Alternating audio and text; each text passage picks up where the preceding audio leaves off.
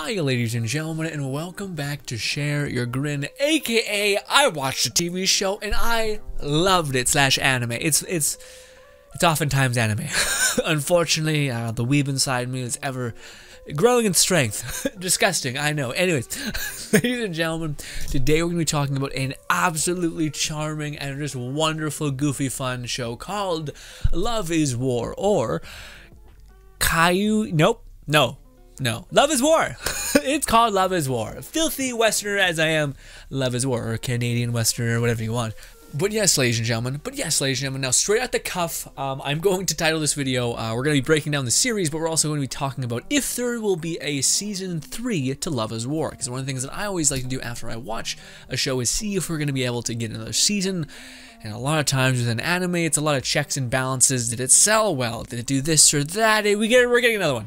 we're getting a season three as well as two OVAs. I think at the end of this um, year. The time and when things come out is where I don't know about, but we are guaranteed getting a season three. Um, it was confirmed uh, by the people's Twitter and all that lovely things. Here's uh, the page from Funimation. Love is War season three um, officially announced, as well as the OVA uh, is coming in 2021. So at the middle of this year, and people are speculating that maybe we'll get a season three at the beginning of 2022, or maybe even the very, very end of 2021. We'll see always be careful because COVID things can happen and uh, you may look like a fool. I have been there a great many times. It's unfortunate that COVID ruined release dates so much and it just shotgun blast me in the face because I was made videos about like, hey, they're getting its seasons, and then everyone was like, no more seasons for that show that was beloved because eat me. As will officially return for season three, the news was revealed on their official Japanese Twitter account uh, for the series, uh, confirming that the third season was in production um, and an OVA uh, project would launch in 2021. Okay, yeah, so it seems like they're already in production by the time this one out. Um, so yes, they're underway of creating the thing itself. So that's why some people are saying maybe, potentially, expect um, later on 2021 um, or the very end of 2021. But we're going to be getting an OVA at some point, probably in the mid uh, 2021 uh, thing. Two OVAs, two episodes. Neat. I don't know what they're going to be about. Usually OVAs are kind of just random nonsense, to be honest, but I digress. But now, my friends, this is a part of me just gushing about the show that I thought was so adorable. Also, what is with the weird dubbing situation? I wanted to watch this show forever ago, but they dubbed the first season before the second season's licensing is a nightmare. okay, that's one thing that's hella evident is that licensing is a nightmare. I know some people don't like dub. Calm down. You're special and unique. You don't understand what, what people are saying and you like to read a lot. I get it. Come calm down. For those guys who are utterly taken aback and confused um, about why myself as well as as well as many others are so so in love with this show, let me do my best to explain it to you, and also hopefully intrigue you to actually go watch it. Um, but ladies and gentlemen, um, Love Is War is a wonderful series. It's it's very much. It's not like an isekai weirdness. It's very much it's kind of like uh, on the same kind of sphere as like Disastrous Life of Saiki K, except without the like bananas, psychic weirdness, Baka and Test, um, stuff like that. Those like kind of looked like a slice of life inside of like a high school, but the high school was kind of a little exaggerated. Um, and whatnot. Essentially, the basis of this story of this show is that there's a high school full of elite billionaire children, like children of billionaires, like super financial, financial secure people, just like immensely powerful people in society. They all go to this school.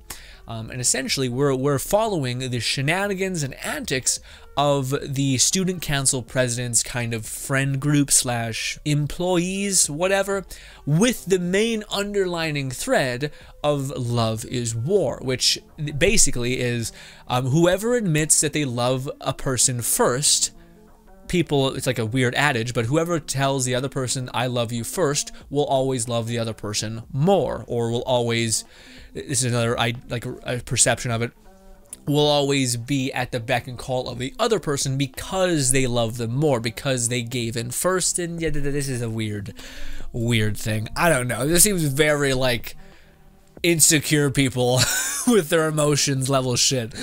but I digress. To everybody, I love them. am I am I the asshole? Anyways. Oh, you like to see the the good people uh, and tell them that. Fuck you. okay, you're lesser, or I control you. Bitch, get the fuck away from me. what are you talking about? My nonsense aside, you'd be like, Grin, that seems like a really weird take on a show. Well, it's anime, so yes, it is. Um, but also, the, the show is basically hindered on the idea of these two people love each other a lot. Like they like the shit out of each other, and at this point in season two, they probably fucking deeply, deeply love each other. Um, but none of them, or sorry, neither of them will actually tell the other person that they have feelings for them because of that underlying note of like, well, if I admit it, um, then that means that they'll they'll think less of or not think less of me, but I'll basically lose this war. The idea of whoever says I love you first will inherently love the other person more.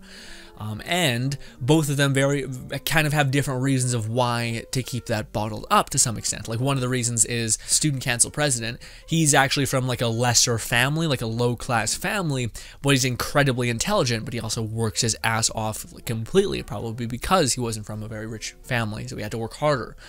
Um, he has an incredible work ethic. Um, so for him, he's been trying having to prove himself this whole time, like this whole his schooling experience, he's had to make make it known that I deserve to be here. And the girl is in the opposite kind of mirroring image of that, where she comes from a very, very, very prestigious family.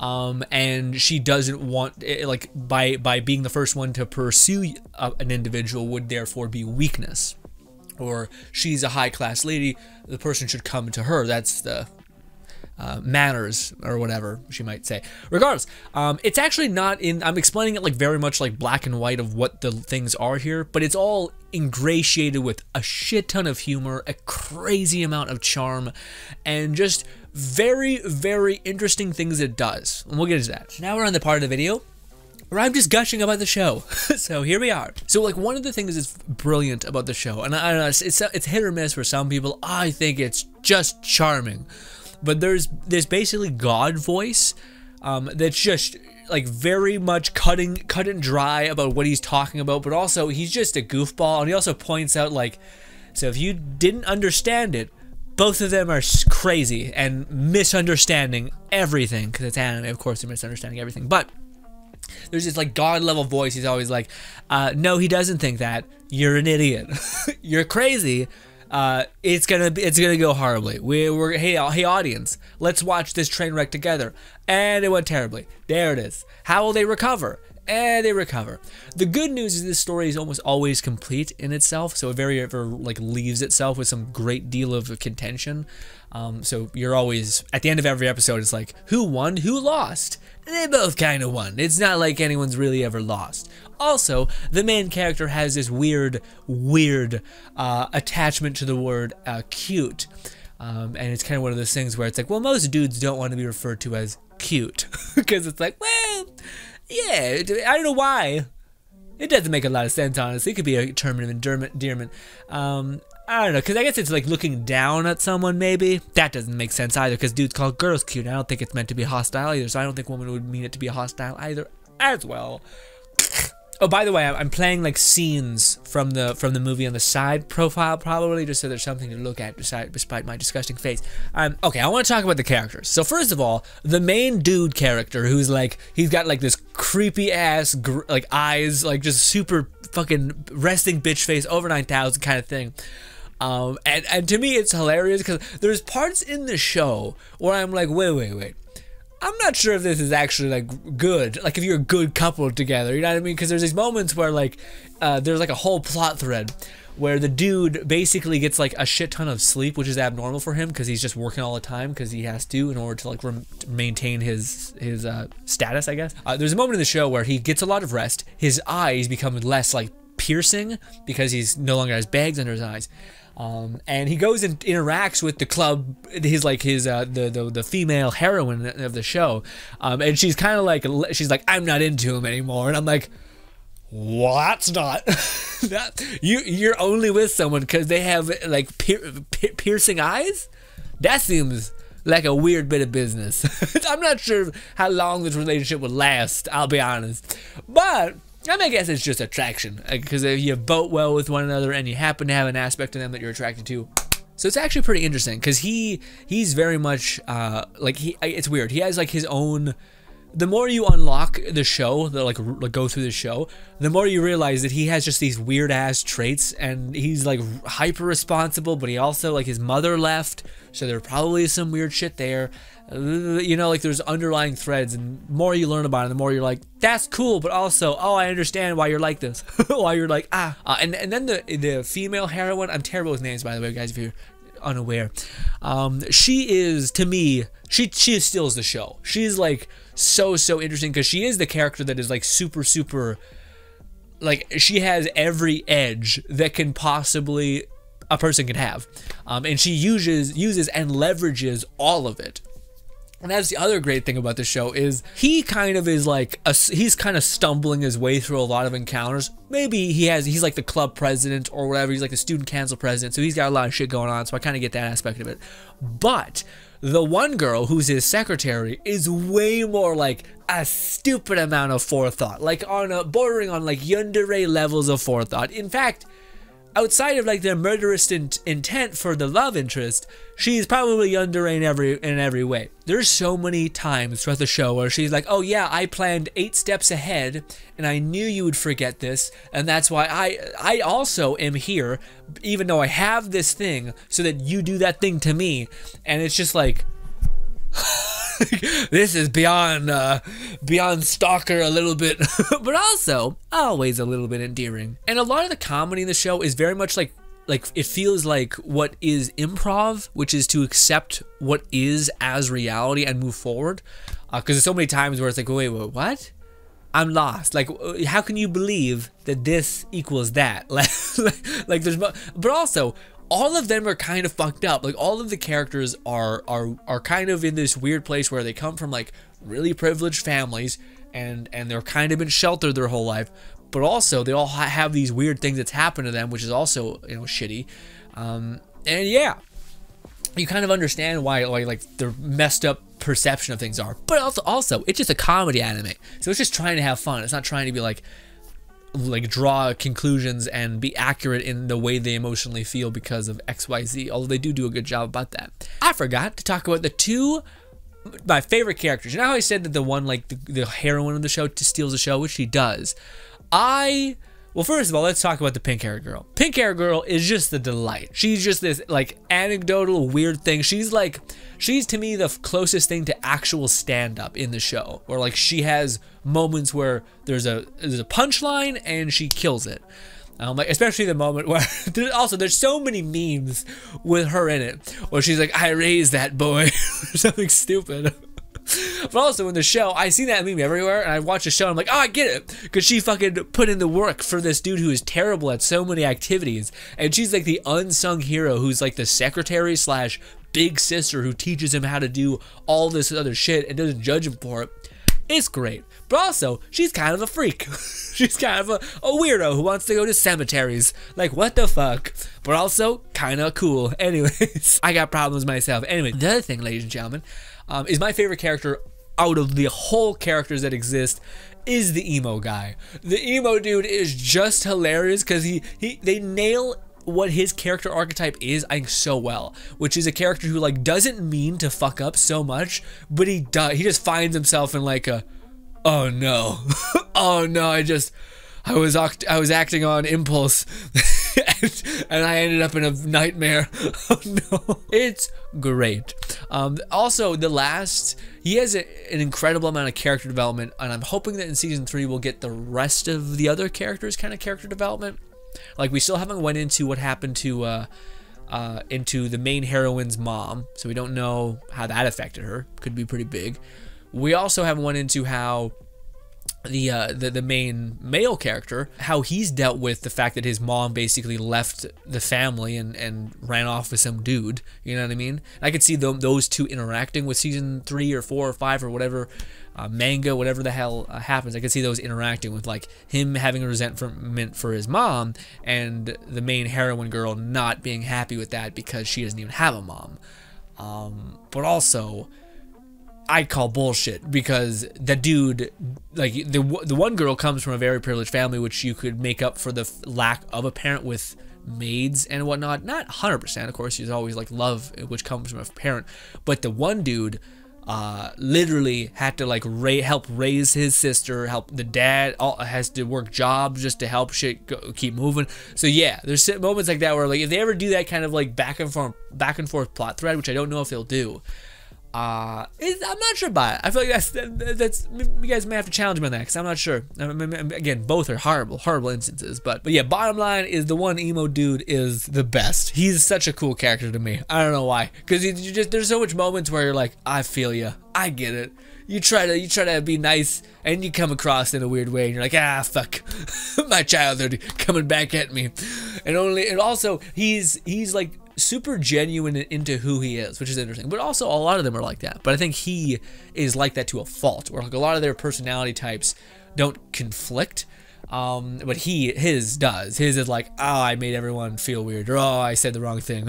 Whereas everyone else is kind of like, oh, I, I'm a freak who likes cemeteries, and it's like, yeah, weird, but sure. Oh, also, there's one more character. There's like the the virtuous character, which is like the tiny girl who has a bunch of virtues I don't know. I, her, she's kind of fine. She's okay. I don't know. She she kind of popped in, and I was like, "Are you here? you were here for a couple times." Uh. I will say though, um, I really do hope this is my like ending thing on the show. Though I won't talk your ear off, but um, I really really do hope that at some point, um, whether it's in season three, whether it's season three into a movie, or whenever this show comes to an end, I really do desperately want um, the like the, conclusion aspect of the show because I'm hoping that we get like a, a, couple more seasons. I'm hoping it continues to do well because it did really well. Like both season one and two did great. Um, so the odds of us getting consistent seasons hopefully are pretty good. But also I do hope that things come to a, like a close. Uh, this is like one of those things where you're waiting for like one of them to cave. Um, and to me, how do you guys feel about that actually? Because I'm actually curious with the whole answer or question of the show, which is who should say I love you first. Um, in their specific instance, I think it should be the girl. The reason why is because of the underlying thread, which is not for the like. I, I hope that the dude gets over like the idea of him calling her cute or whatever, because that's just a kind of a stupid, silly like anecdotal thing. Um, I I do think like the dude, um, every step of the way had to prove himself in this in this school and I could totally see that being a bigger issue. Uh, where like I, am I'm, I'm hoping how they would handle it is the dude's like about about to drop the line of like okay I'm gonna say it because fuck it I just I want to I'm done playing this game and then hopefully she squeezes in and says it first because to me that would be very very cool because she comes from like this prestigious prestigious family um, which is amazing and also she has that like that weird like I want to be in. I don't know how to put it. She had, like it's like kind of like I want to be in control. I don't know. If he said it to her, I feel like it would mean nothing. Whereas if she said it to him, I think it would mean a lot of a lot. You know, I could be wrong on that for sure. Come at me, correct me. Oh, this is something I was hoping that they would do or they will do in the future. Um, because I've heard about that weird thing where it's like whoever says I love you first will always love the person more, which I'm like, okay. I, I always thought there'd be a really cool like comeback to that idea, which is okay. So say like let's shotgun ourselves in the future because maybe the dude ends up saying uh, "I love you" first. One of the things I was I was hoping that there'd be a like a part whenever this the unveiling of whoever says what happens first because they know they're gonna be together. If they're not, then they just blue ball on the whole goddamn audience, developers or whatever or creators. But I was really hoping that there'd be this moment. He says, or maybe she says, or whatever, whoever says, I love you first, um, then there's like this un- underlying thing of like, hey, I won. Like, I, I, I got it to happen or whatever. And then for the person who said, I love you to say, well, yeah.